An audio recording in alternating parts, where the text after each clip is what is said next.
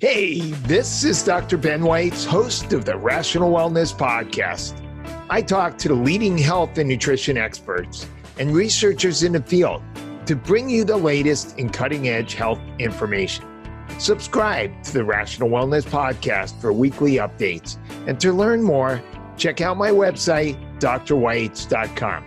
Thanks for joining me, and let's jump into the podcast. Hello, Rational Wellness Podcasters. Thank you for joining me again.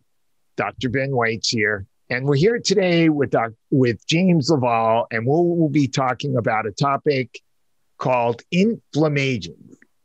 James LaValle will explain how chronic inflammation contributes to chronic disease and accelerated biological aging. And of course, all of us want to um, slow down our chronolo- our biological aging so that we can have a uh, a low uh, biological age in a old chronological age, and so um, uh, this um, topic is inflammaging. So what happens is that excess inflammation plays a role in many of the most common chronic diseases, including heart disease, diabetes, neurodegenerative diseases, chronic, chronic kidney disease, and even cancer. And among the causes for inflammation, of which there are many, um, include stress, blood sugar imbalances, obesity, gut dysbiosis, chronic infections, periodontal disease, diet, poor sleep, toxins, um, and many of the topics we regularly talk about in the functional medicine world. James LaValle is an internationally recognized clinical pharmacist, board certified uh, clinical nutritionist, and the author of more than 20 books. How do you write so many books, James? um, including Cracking the Metabolic Code. He lectures around the world, or at least he did when we used to have meetings, including for the American Academy of Anti Aging Medicine and for the George Washington University Masters of Integrative Me- Medicine program uh, thank you so much for joining me today, Jim. Oh, it's great to be here, and I got two more books coming this year, man. I mean, is I'm, that right? Churning and burning, buddy. Wow, what are the two man. books you have coming out? I've got uh, Metabolic Code 2.0, which is kind of the updated version of Metabolic Code, uh, which kind of goes through metaflammation. Why? How do we get there? How, you know, how do we look at it? And then I, I did a book on biomarkers and sports performance to really, you know, I work a lot with athletes and I think there's still just such this ignorance of, you know, that where the biomechanics and biochemistry need to intersect in order to really have a healthy person who's training. And it doesn't matter whether you're a, an amateur athlete or a pro athlete, you know, you can start an inflammation cascade with an injury, or you can get injured because you got inflammation chemistry in your body, you know. Right. And, and, I don't think people are, are quite got that yet. So I'm really excited about that book. I, I think uh, that's that's great. That's a book that's definitely sorely needed because I've done some work with some professional uh, sprinters and some other athletes, and trying to put together w- which things are best to track is is uh, a bit of a challenge right now. So giving us some guidance on that would be helpful. Yeah, no, it's exciting, and and uh, you know, the world's changed. I think, you know, we've got some really good awareness now of what chronic inflammation is. And I don't want to get into a uh, too heady of a discussion, but I do want people to understand that, you know, we're, we're all, we're all moving towards inflammation as we age. That's what happens. Our immune system kind of starts to decompensate, right? As we age, things don't work as well. Right. Just like you said, you know, uh, you know, we, we want our we want our chronologic age really up there and our biologic age really back here. Right. And uh, when we don't, when we don't really take care of ourselves the way we need to, or become aware of what's going on with our chemistry, you know, things slip away. People, you know, people start developing chronic illnesses. Uh, and yeah, I, actually, I, I, think the last week of political inflammation and uh, excessive screen watching and and, and oh, lack of sleep is probably contributing to that. we'll add that political inflammation. yeah, you know what? I think that may be number one. I got a lot of people coming in here that are just like, you know, they're beside themselves. And I, you know, I just try to tell them, take a deep breath. Just, you know, I, I, now that I'm like I turned 60 this year, right? And so I, I've seen a lot in my 60 years. and it's never politics never cease to amaze me. I'll just put it that way. It just is something else. Right. So, you know, so. so so outside of politics, what are the biggest contributors to inflammation? And well, what is inflammation? I mean, so when you think of yeah, it's a great question. So so you know, so we can set up, you know, what we're going to talk about. You know, there's a process called metaflammation, metabolic inflammation. You know, we used to hear the term metabolic, and you'd think, oh, I burn calories or I don't, right? And now there, and, and this is what I wrote about when I wrote the metabolic code book. And obviously, what I teach about is systems biology or network biology thinking, which is you have to look at the relationships in your body and understand is my nervous system and immune system in balance? Is that imbalance with my hormonal system? Am I absorbing things correctly? What's going on with my detoxification pathways? What's my stress load like? Am I sleeping? What's my hydration like? All of these facets, what, what I you know what I get exposed to, right? I mean, if you're living in California, you know, atrazine, a major pesticide. You know, we spray more patri- uh, atrazine in the state of California than I think the next three states combined. I mean, it's crazy, right? And so, it's interesting. Everybody talks about glyphosate, but atrazine doesn't seem to come up as much. Yeah, I know. And atrazine's number one. Yeah. it's the big one. You know, it's making all those tadpoles deformed. Uh, so, uh, it's, and humans, by the way. So uh, there's a, right. there's issues with it. So my point is, is that everything that's going on with you right now, if you're listening, where you are right now with your metabolism is really the sum total of everything that's gone on since the time you're in your mother's womb to today. Exposures, emotional stress, physical stress, um, impact of diet, you know, all of these things, environmental burden, all these things are flying in, at, at this, this high level in our body, and they're all trying to keep us uh, sound, you know, just able to age gracefully. But the problem is, is that as we start to get into, I get an infection, I'm on a lot of antibiotics. Maybe I start to develop dysbiosis from candida. Uh, maybe my diet's skewed. Maybe I'm a big, I'm, I'm a big ketogenic uh, dieter, and I don't take in any fiber. And you know, I, maybe I'm starting to make more endotoxin. What happens is we start to push our body towards triggering a neuroinflammatory response, meaning we get sympathetic dominant, right? Because your blood sugars go up, you make more adrenaline. And at the same time, you start to release more inflammatory cytokines. And the inflammatory cytokines are basically the signals that tell your body, you know, hey, we got to fight a good fight. Um, your body's supposed to turn those off, right? You know, you know, you you treat patients every day. Yeah. The, the, an appropriate inflammation response should stop and a person resets back to normal. And the problem that we have is that when people stay in a chronically inflamed state, now that can happen just by overtraining, right? You can be perfectly healthy and train too much and put yourself in a chronically inflamed state. Right. And we, we need to make clear here. Uh, I think that there's a tendency for us to say inflammation's bad. And we need to understand that inflammation is how the body heals you know, when you have damaged tissue, the body says exactly. inflammatory cells, and that's part of the healing process. Inflammation is how we fight infections. So, um, uh, short term, uh, you know, fluctuations of inflammation are super important for our health. It's just that when those short term in, inflammatory states become chronic that it really becomes a problem right? And that's and that's the issue is that when you don't turn the inflammation off when your body doesn't have the reserve i like to use terms like metabolic reserve and resiliency and durability. When your body's losing its durability when it's losing its capacity to turn the inflammation off and say okay back to normal back to homeostasis there's a bunch of things that start to happen and so, one of the things that start to happen, and I'm seeing this a lot, and I bet you are too, um, is we see disturbances in iron absorption and metabolism. So, people have really low ferritin. They don't store their iron anymore. So, their reserve for iron is low, but yet their iron store itself is okay. And that's a sign that you're metabolically inflamed. That the inflammatory compounds turn off your ability to store ferritin and make EPO, erythropoietin, so you can make new red blood cells. A lot of people don't look at it that way, but I see it in lab tests. I mean, every day I see it in lab I, tests. I see that too. And that's kind of interesting, especially because we also think of ferritin as an inflammatory um, factor.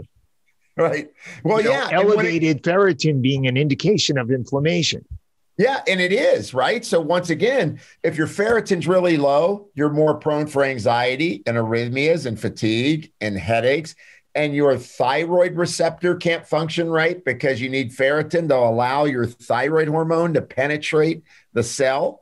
But when it's high, it's toxic.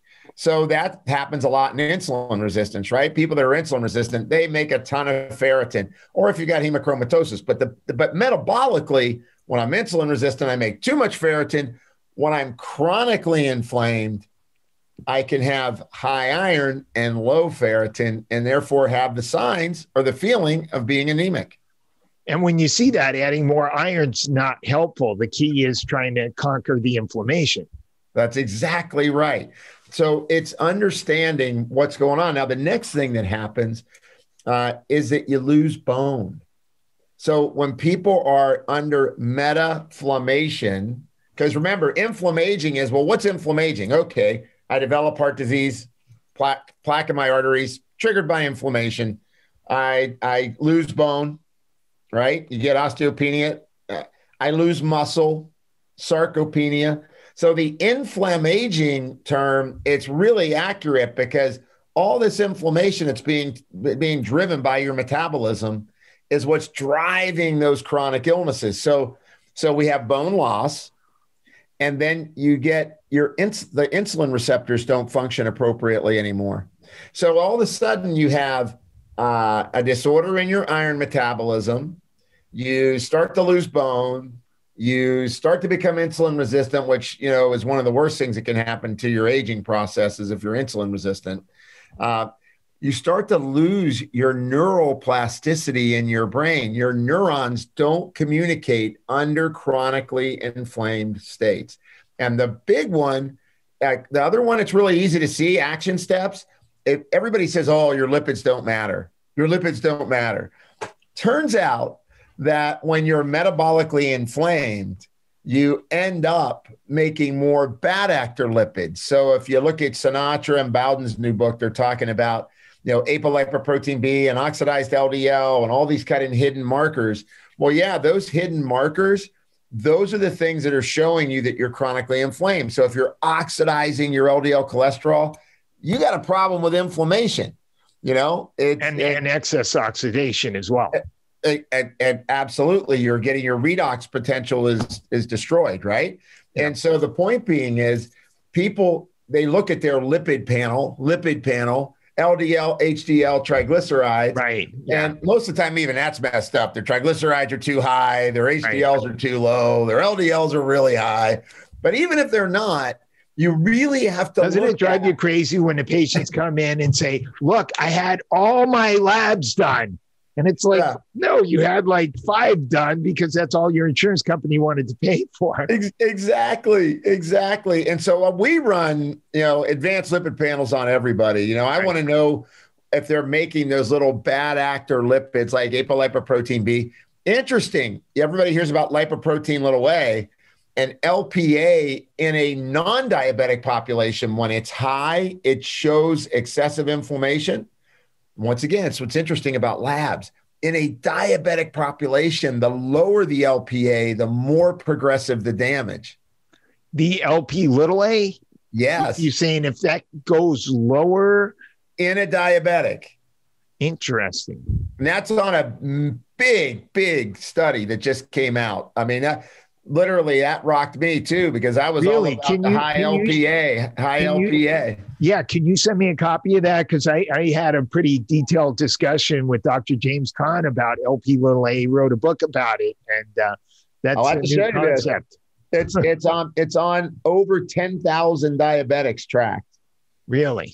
Yeah, it's it's pretty compelling data. It's almost. I mean, it, it it, it, it continue. I've been studying. I'm in lab. I've been in a lab, like looking. So how, how low does the LP little a go? Like normal is like under 40 or 30 or something. Yeah. So the lower it goes, like in the 20s, the more you see problems with the diabetic. Interesting. In their vascular network. Yeah. And and you know, I'm a lifelong student of biomarker trends, right? I mean, that's why I wrote the book Blood Never Lies, was because we need to look at trends and so it never ceases to amaze me how we see these issues like really low ferritin bad, really high ferritin bad. LPA in populations that are non diabetic, when it's high, it's bad. And then when it's low, it's bad in diabetic populations. So I think it's it's important because when you look at metabolic inflammation, here's the end, and like the end game when we cut right to the chase, you get mitochondrial destruction and then you get dedifferentiation of cells. So what does that mean? It means that you're going to be in a degenerative process. And whether that's a degenerative process that leads you towards heart disease, an autoimmune disorder, or cancer, as soon as you start to uncouple mitochondrial capacity in your cell, that's where the trouble hits. And that's what happens when you're metabolically inflamed. And I'm sure we're going to talk about, well, what do you do about it? But uh, we've got to, but that's the essence of it is you're, we're on this path as we're aging you got to rage against the night, man. You got to rage against that inflammation. You got to really work it. Um, I'm still learning. I, I, I, mean, every every day I'm learning something different about what I can do uh, to help people turn back that inflammatory signaling. And here's the bottom line: Why is it important? Because you hear metaflammation, inflammaging, mitochondrial, you know, neurogenesis, big words. Bottom line is you know, when you turn inflammation back, people feel better. Right. Their hips don't hurt. They don't have colitis anymore. Their brain's clearer. Their fatigue lifts. I mean, these are big things that uh, for me when i'm when i'm working with people i'm wanting to know how do i change their life and you know i could i could change their LPA, right i could change their lp little a and they'd probably look at me and go oh wow that's really cool I don't know what that means. You know, if I get them to poop better and they're out and they and they feel less stress and they sleep better and their hips don't ache anymore, right? They're going, yeah, man, you are the man, and right. that that's why I I try to always buffer, uh, you know, highly complex metabolic uh, discussions. Look, we don't even, we haven't even talked about the fact that people eat too much, they eat too often, they eat too late, they pick the wrong foods, they don't get enough sleep which which triggers inflammasomes in their body, right? They're going to have inflammasomes, and once again, some inflammasomes are good. Some inflammasomes, when they're being released too frequently, are not so good. And and but you know when we do that by default, just the fact that we eat too much, we eat too often, we eat too late, we're turning off autophagy. And now, well, so autophagy, right?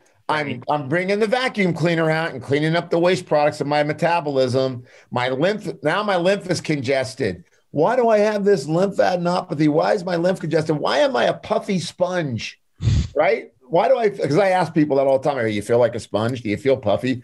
oh, how'd you know? you know what I mean? And it's because they're lymphatically stagnant they're they're never giving their body an opportunity to clean out waste proteins nor do a metabolic reset on their inflammatory activity that's dictated by what's called inflammasomes and we so we why, why, don't, why don't you explain what's an inflammasome so inflammasomes are basically another immune um, defense.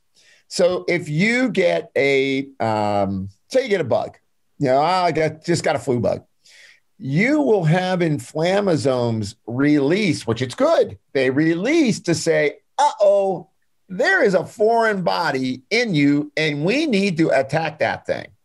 And so they tag it, right? So the inflammasome's sitting there going like a paintball gun, right? Boom, attack, right? The problem is when they start to attack our normal tissues and we trigger inflammation. So they're paintballing everybody, right? Right. Or and, like when a virus triggers the NLRP3 inflammasome, right? Right. And if you don't have enough, and here's the interesting thing when you do NLRP3, there's a, it, when it's unrestricted, it creates a cytokine storm, right? So you make all these cytokines, right? Just like what happened with COVID and even another virus. Exactly. Right, right, right. right.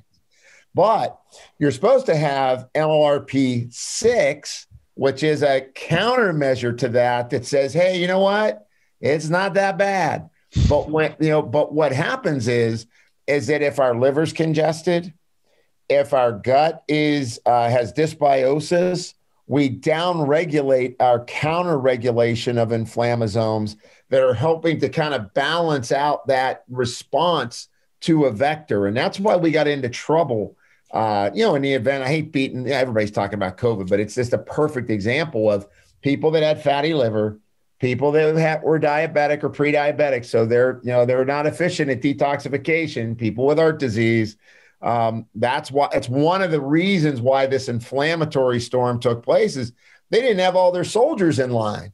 And so that that's really what I've been really trying to do is get out there and talk to people about, hey, you got to start to take care of your immune system. You've got to take care of your nervous system because they're driving the bus. They're sending all the signals that tell you, are you going to defend appropriately, not just for COVID? I mean, let, let, us face you, it. You know what? I know, I, I know everybody's been talking about COVID, uh, but really, uh, the message you still don't hear very much is the message you just expressed. And, and the best thing that could come out of this COVID crisis is if we uh, understand that the fact that our society is so obese, has such high rates of blood sugar dysregulation, diabetes, all these chronic diseases from uh, you know, uh, uh, uh, out of balance immune system, et cetera, et cetera, from being, you know, eating a, a, horrible standard American diet, not exercising, et cetera, et cetera,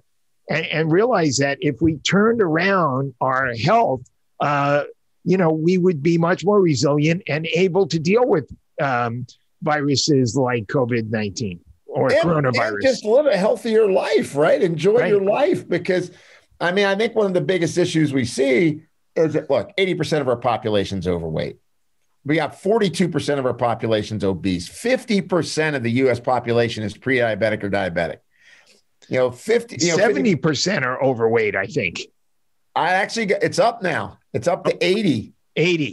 Wow. 80% are overweight. Yeah. Wow. Yeah, like, yeah, yeah, it's 80%. Yeah, it's wow. I wish it was better, but it's not. We we are uh, the statistic breakers. we better go get some chicken wings, some nachos, some chili cheese fries, and a, and a thing of sour gummies like right now. We got to get caught up. Yeah, and, it's a problem. And, look, look, my and, brother was a and my, take your gummy vitamin with it because that'll that'll balance. oh yeah, those are so good. Out. They're really good for you. Those gummies. you know, it's it's hard because you know my brother was a 476 pound man. Wow. And you I say mean, he, he was. was. obese. He was obese. He was big. He was big. He's just a big mountain of a man, but he was obese. And God rest his soul, he passed away at the age of 62. And uh, didn't want to listen to the younger brother too much. He tried, he tried hard, but it was just difficult. He had a lot of things that were in his way. And I think for a lot of people, they don't realize that there's a way out, but the way out involves work. There isn't going to be a pill that gets invented that fixes the situation we're in. Yes, you can manage symptoms. I mean, obviously, I'm a clinical pharmacist. I understand drug therapy really well. And that's why I try to avoid it with people as, as much as possible. Use it when you need it, but when you don't need it, try to change your lifestyle, try to take some nutrients, try to manage your stress. Uh, in general, I find that these are the big things that people miss out on. Is I, I even on, on the standpoint of getting people to walk, I'd love people to walk an hour a day. I start them on 10 minutes. Yeah.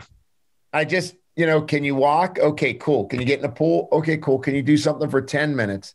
Can you just stand up? It's pretty sad, honestly yeah, before I started my uh, chiropractic career, I worked at a health club and uh, we used to do sales and uh, we always had the magic pill clothes that we would occasionally use. And that was, wouldn't it be great if there was a magic pill that you could lose weight and get in great shape? Well, there's not. So sign here. exactly. and, you know, it's kind of crazy when you think about it. This, I mean, like once again, I kind of grew up in that space a little bit too. And this has to tell me to breathe. I'm like, what's up with that? Really? We've lost. I can't tell you how many times when I talk to people, I teach them box breathing, just simple, because they're not going to meditate for 30 minutes. I mean, everybody's in a rush. But if I could get them to breathe deeply, two to three minutes. So you, you wanted to know, let's use get some usable stuff here. Number one, you gotta breathe deep. When you don't breathe deep, you shut your parasympathetic nervous system down.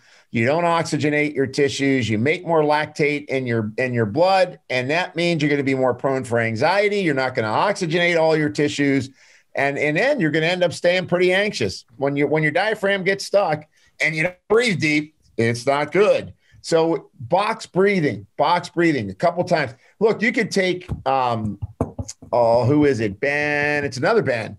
Uh, he's got a great breathing course. I have to think about who that is. Okay. Uh, but he just posted it. Um, I, I, mean, I'm not a big advocate of like the Wim Hof stuff where you breathe till you pass out. I guess that's to be honest. Um, I, I just think that you might hit your head or something. I don't yeah. know.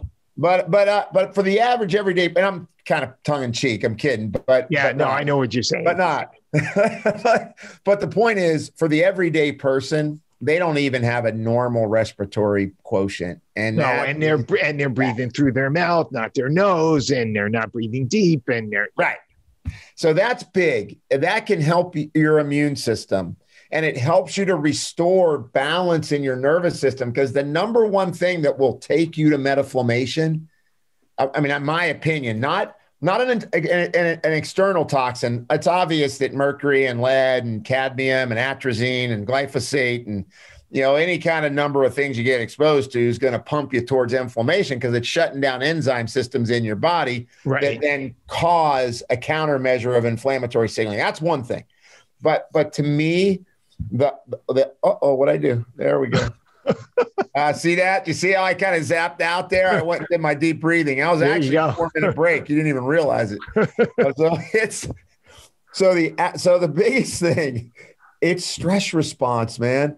I look at blood pressures and heart rates on everybody. So point number two, okay, breathe deep is one. Point number two, look at your resting heart rate.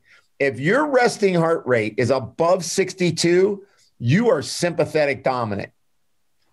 Period.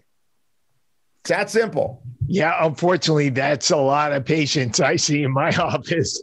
It's it's so many people they don't understand it. Like, wait a second, I'm gonna see if I'm a good citizen. Let me see. Where am I at? Uh, it's gonna be scary. Oh, oh, 55 beats per minute, baby. And that's when I'm excited right now, you know? But I, yeah, but no, I, my resting heart rate is about 50. And I, I had right. surgery in August.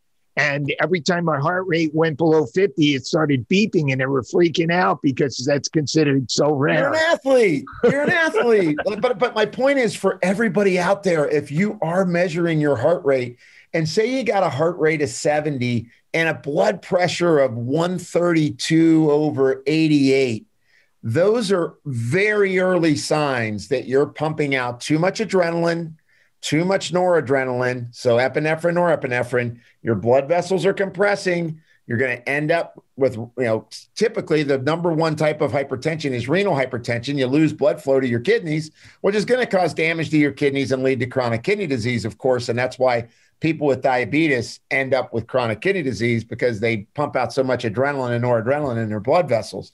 So watch your heart rate, watch your your blood pressure, and then okay, I'm breathing shallow, my blood pressure's up, my heart rate's up. What am I going to do about that? Right? Um, before we take a single pill, I got all kinds of supplements I can talk to you about, all kinds of ingredients, man. But you got to get this stuff down. I need you to walk a little bit you don't have to tear it up. You don't have to like do like carry your CrossFit dumbbell while you're walking on down the street. It's okay. You can just walk. It's okay.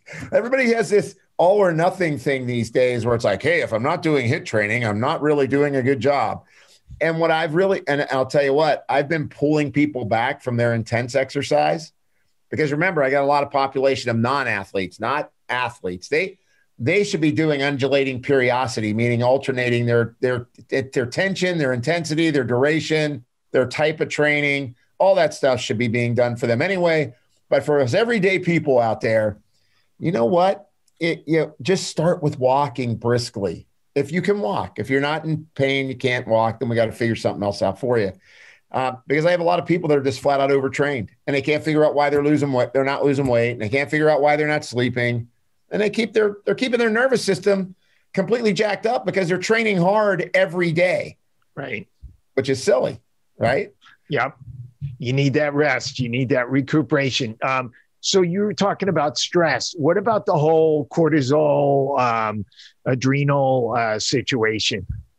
Well, I mean, I spent a lot of time talking about cortisol in my life, and I'm a big proponent that people need to get it measured because there's a couple aspects to cortisol that are a problem.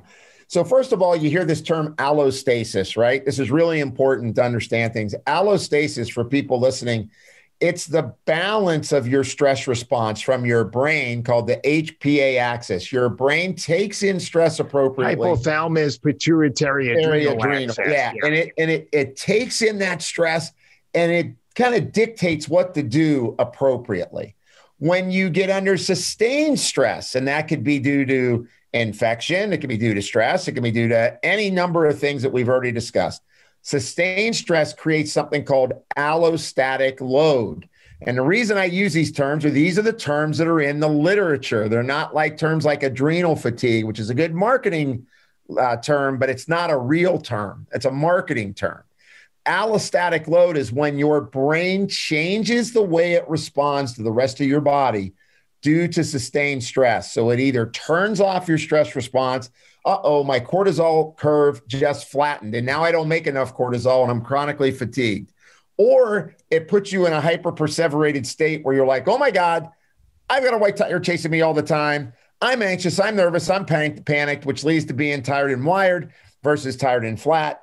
And the, the big point of it all is that you're supposed to have a diurnal rhythm to your cortisol up in the morning, down at noon, down more into the evening, turn on your melatonin so that we balance the circadian nature of our body. And that you measure with a salivary cortisol test. Uh, you have to do a four point salivary cortisol or a five point urinary cortisol. Or six, yeah. With yeah, you can do you can do the cortisol awakening response. Yeah, exactly, which is pretty important. But the big thing is is when you flatten your cortisol curve. Right. It doesn't matter whether you're low and flat or high or flat, but when you lose this up, down, and down, right. when it flattens, more risk for heart disease, more risk for diabetes, more risk for cancer, more risk for dementia.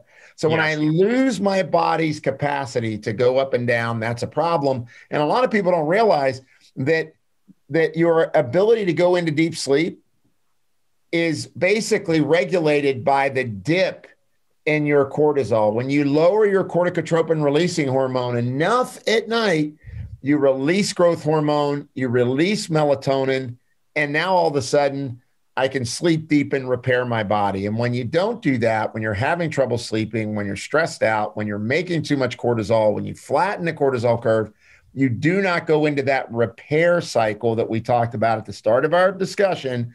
You go into repair to turn off that inflammation. And now I don't have a metabolically inflamed state. I have a recovered state because of my sleep pattern. And, and there's a lot of folks that don't realize that when your melatonin it goes down, it actually controls all of your insulin signaling for the next 24 hours. That's crazy, right? That is crazy. Yep. Yeah. So and that, that's that's a big issue with diabetics who uh, either see their blood sugar drop too low while they sleep, or uh, they get up in the morning and their you know blood sugars uh, 150 or 180, and you know they think they're doing right, and sometimes that stress is the um, underlying factor. Yeah, it's a big culprit. I mean, look, a lot of this is why I ended up developing the metabolic code platform. Why I did the, the cloud-based informatics platform was to take all this data. Because here's what happens: people, you know, we we see a study on vitamin D. Uh, oh, then we see a study on astragalus. Well, Oh, then we see a study on uh, metformin because metformin is the new anti-aging drug of this, the darling of the new world, right? Other than the fact that it can raise methylmalonic acid in your body if you're not careful, which leads to you know contributing B12 to deficiency. Yeah, yeah, it's a B12 deficiency, and you lose CoQ10 too, um, and B6. But but the thing is, um, nobody measures all of it together, and that's kind of what we embarked on was was putting a, an informatics system together that said. What's your symptoms? What's your labs? What are you taking? How are you eating? How are you exercising? So that you can start to see how all of that comes together. Because I look, I doctors always say to me, in the you know, kind of traditional medical doctors will say, "Well, you have no evidence of a, of dietary supplements. There's no evidence." Right. And, and I go, "Well, okay. So give me the evidence of when you give somebody ibuprofen, Luvox, metformin, a statin." And, and uh, uh, you know their Propecia for their hair loss. Those Right. five drugs. Right. Oh wait, there's no studies that show those five bot drugs together in your body. Oops Right. we're, we're all living in this fishbowl, right? We're all and, and and we're trying to figure out what are the things that move that person. Like for stress, I got to tell you, I got three big things I use for stress. So once again, you you made it clear. You're like, hey, make sure you're telling people something they can get and do. I already told them how to breathe. I told them the importance of sleep. Told them about measuring their pulse and their blood pressure. Just reviewing it, Dr. Ben.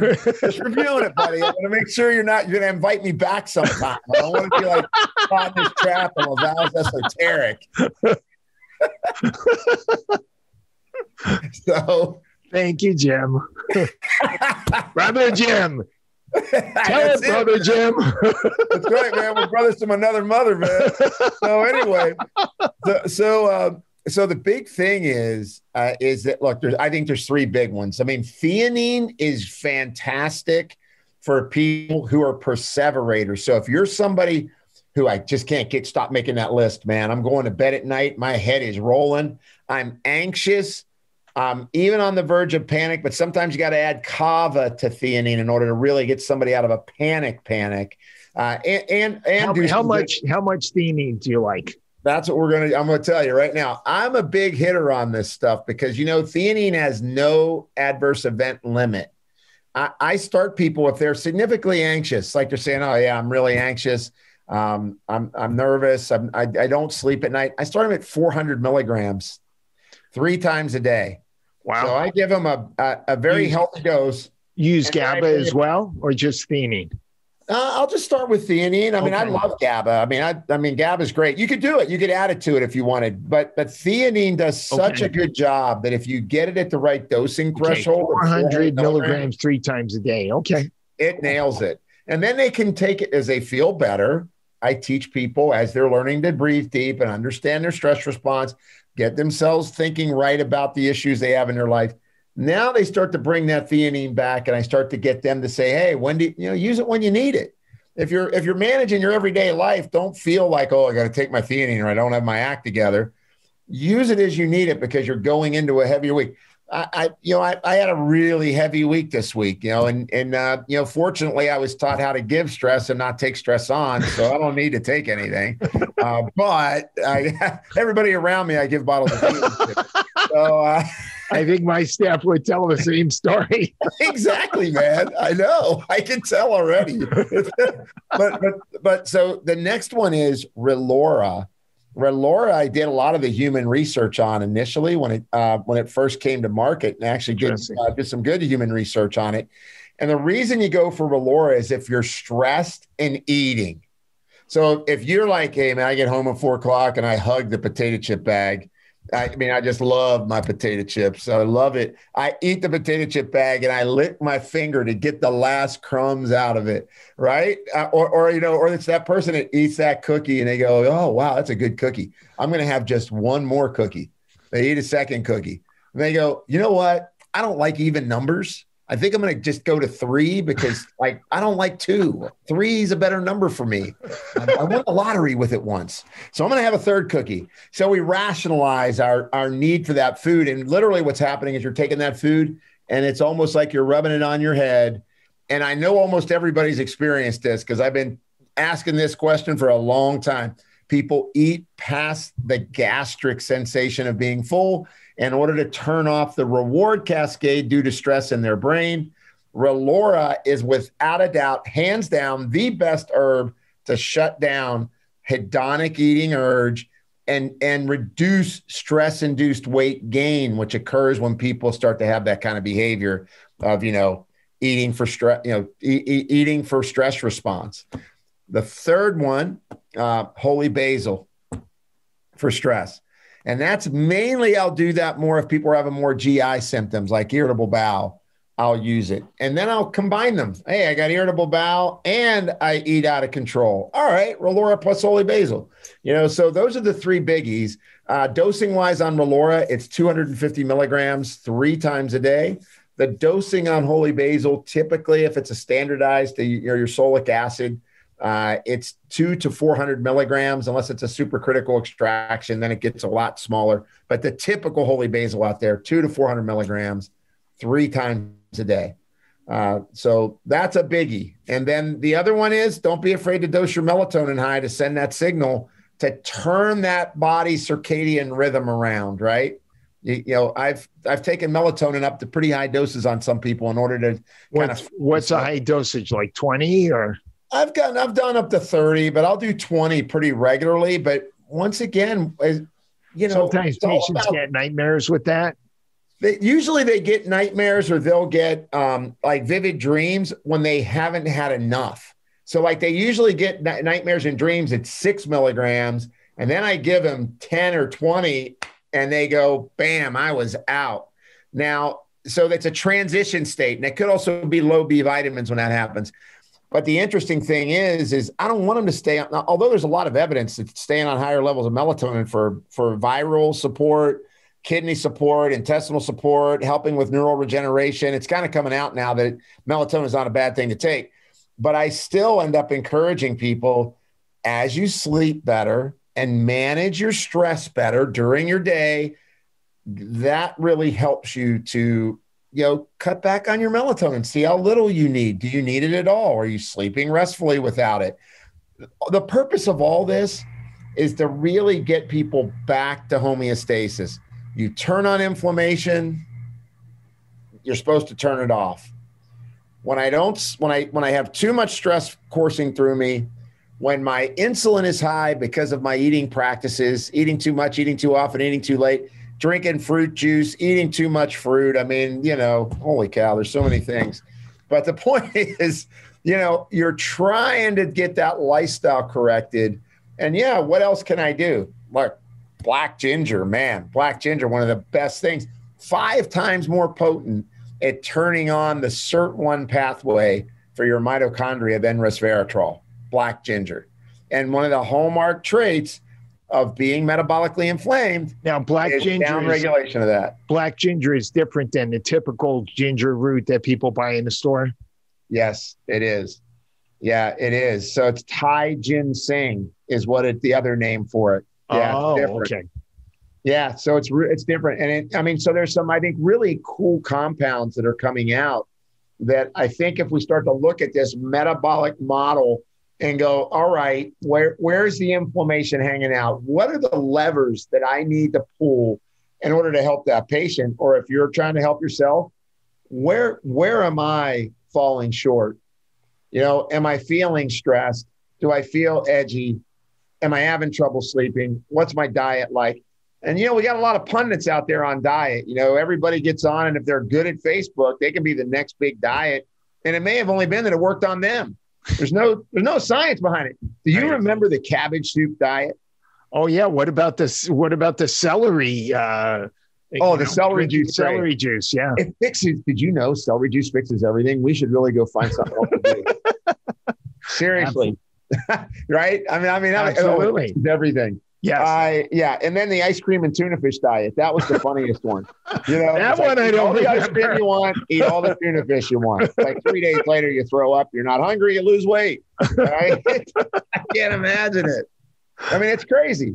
But but but the point that but honestly, you know, I've I've become really passionate about trying to get people to understand that controlling your HPA axis, you know, regulating cortisol. And here's the thing, you know, cortisol is pretty interesting. You know, pesticides like atrazine has had studies that show that it raises your cortisol and resets your HPA axis. Is that right?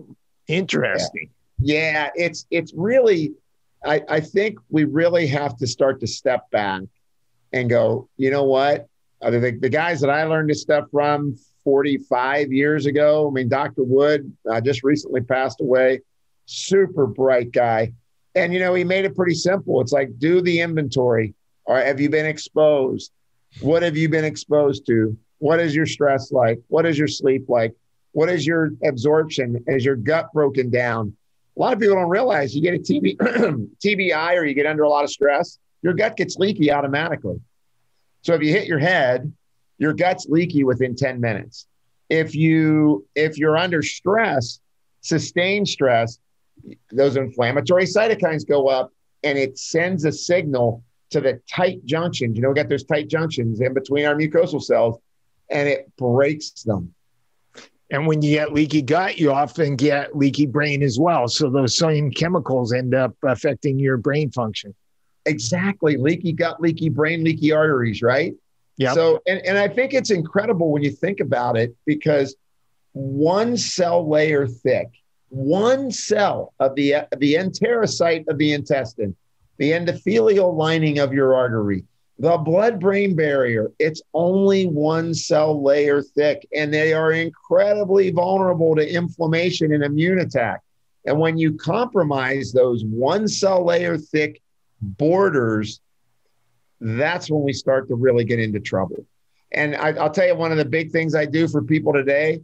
I'm always doing food allergy panels where I'm looking at not just IgE and IgG, but I'm looking at IgG4 and I'm looking at the C3BD complements because what I'm finding is that people's immune systems are loading up significantly. They're they're just you know they, they they're reacting to peanuts, but because their IgG4 is protecting against that reaction, you don't have anaphylaxis, but you have a lot of immune dysregulation going on.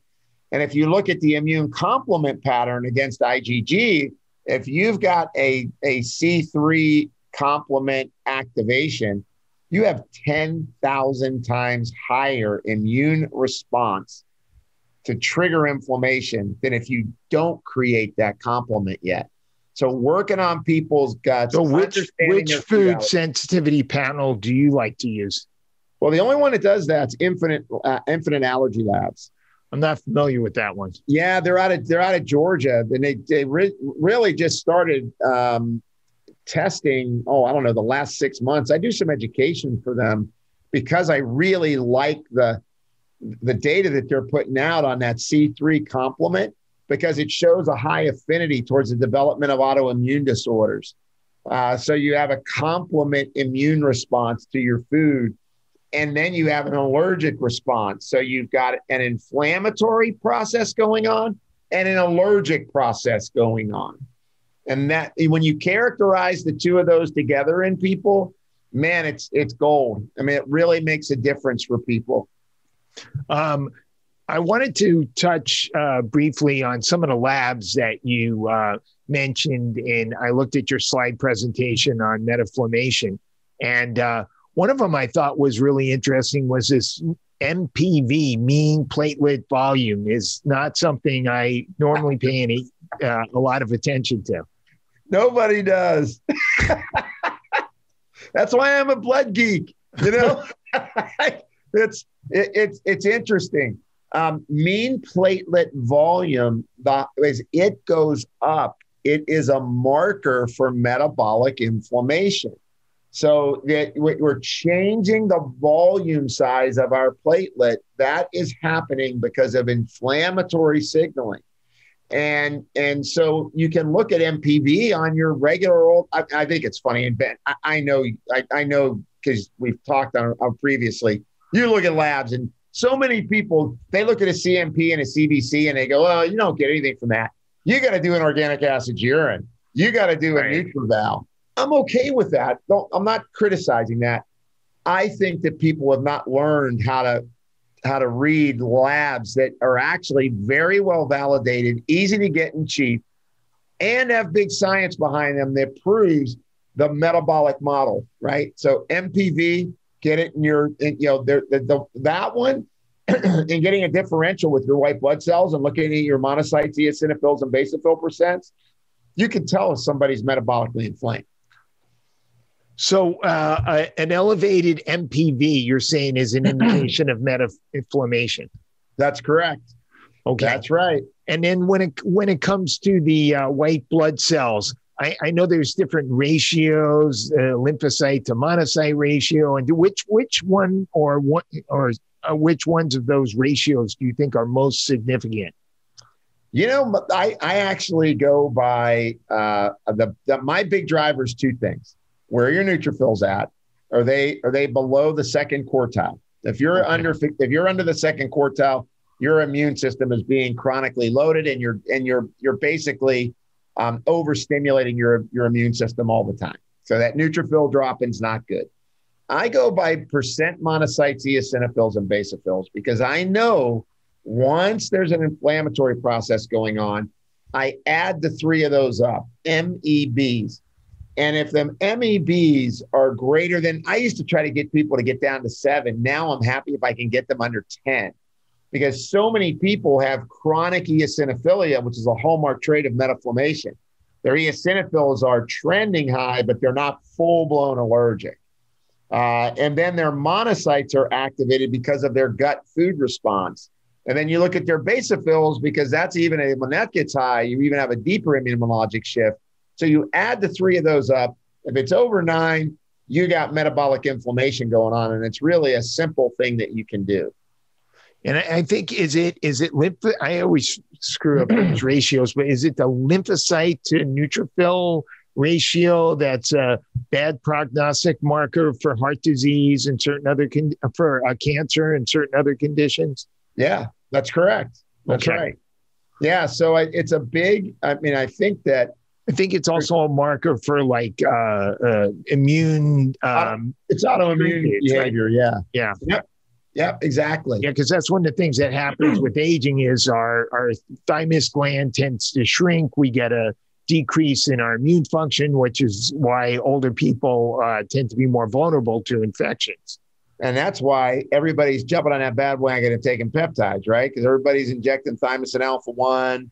They're looking at thymosin beta four, which I think are great. I mean, I, I, I think peptides are kind of the new undiscovered frontier. Who knows how the regulation is going to go? But what you could do you can take thymus extract, freeze dried, lyophilized thymus extract from New Zealand. I've been doing that for patients and giving that out for cold and flu season for years. It's never failed me. You got to got to strengthen that thymus. You're 100 percent right. Which That's is is there a particular brand that you trust for that? I use uh, professional health products for that because they've been importing New Zealand glands, freeze dried and lyophilized glands and they're medical grade over there. So they're veterinary extracted. If any of the animal is diseased, the whole all of it gets destroyed. So you know the glands go, the meat goes, it all goes. There's none of that risk uh, that I see. Oh, the glands over here are fine. It's just they were ate up with cancer in the rest of their body. But the glands good. Uh, yeah, you don't want that. And, and the lyophilization and freeze drying is important because it keeps the signal substances that are within the gland intact. And I think that's really where the value of the gland is at is that you so get this freeze dried thymus gland is is a way to get some of these intact peptides without yeah. actually having to do the injection. Yeah, yeah, without getting a prescription and having to do right. the injection. I mean, obviously, I teach. You know, I I teach peptides at A4M at the American Academy right. of Anti-Aging. Uh, and obviously they're under scrutiny. I mean, California right now, you can't even send peptides in here right now. So you, you know, patients can't get peptides in the state of California. What? Yeah, yeah, what, they shut what? down. They oh, shut really? down. You can't get the BPC 157 either? Orally. Orally, but, yeah. Okay. But not, yeah, not injectably. And, you know, and I'm a big guy following pharmaceutical laws. I mean, I, you know what? There's plenty of things to use that you can get that are safe, especially if you're a practitioner that you that you help with people, you know. So that that's kind of but it's just it's a transit it's a transition experience right now as I see with peptides because you got a lot of them on the market with big pharma right? 150 applications for new drugs are all peptides right now. Uh, and so obviously there's some, you know, there's some finagling going on around, you know, how what's good, how are we going to apply this, how are we going to use them? But they're they're interesting compounds, I have to say. And BPC 157 seems to be one of the most popular, or probably the most popular peptide. It's very popular and it's interesting. It's it's incredibly popular, I think, for good reason. Uh, when my son got injured, he had a Liz Lisfranc injury. I got him back in five months from wow. a, and, and, he was spinning on the foot that was injured, and he won the state discus championship huh. in the state of California. Five months out from a Liz Lisfranc, and you know that's pretty impressive, right? Yes. Uh, and I wish I could say it was me.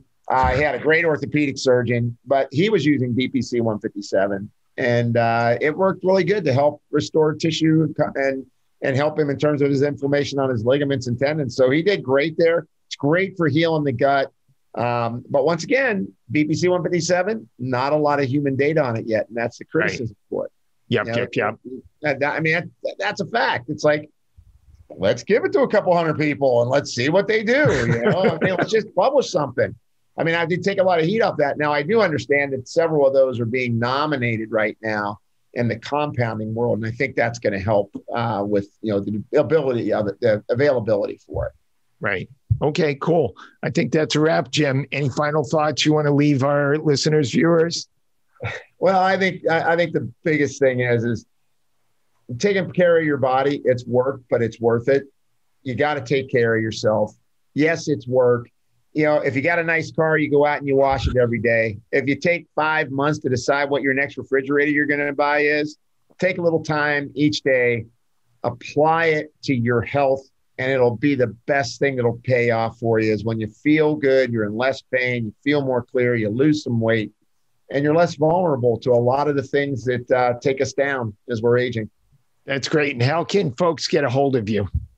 Uh, obviously, jimlavalle.com is very easy. Uh, and then if they're interested in our cloud based information and what we've done, metaboliccode.com. So those are the two easy ones that they can uh, get a hold of me. And then your books are available from Barnes and Noble, Amazon, yeah, etc. Amazon, all that good stuff, and uh, got new ones coming out. We got uh, just repurposed 16 ebooks that I'm bringing out this uh, launched the first seven. So uh, we're rolling. Looking forward to seeing those. Thanks, Jim. All right. All right, Ben.